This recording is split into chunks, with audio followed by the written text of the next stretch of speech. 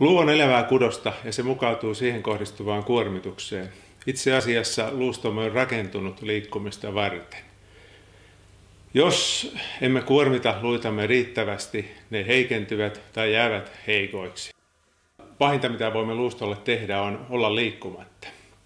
Jos sen sijaan taas liikumme ja kuormitamme luitamme voimakkaasti ja säännöllisesti, ne vahvistuvat, eivätkä ne murru niin helposti esimerkiksi kaatuessa. Kriittisin aika luuston vahvistamiseksi on kasvu, nopean kasvun vaihe siinä 10-20 vuoden iässä. Tätä vaihetta ei kannata missään nimessä jättää väliin.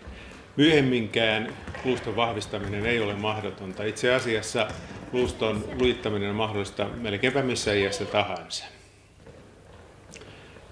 Tehokkainta luuliikuntaa on hyppely, iskut, tärähdykset. Saman asian ajavat myös nopeatempoiset pallopelit.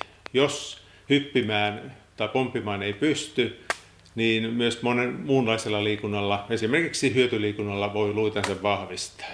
Koskaan ei ole liian myöhäistä vahvistaa luustoaan.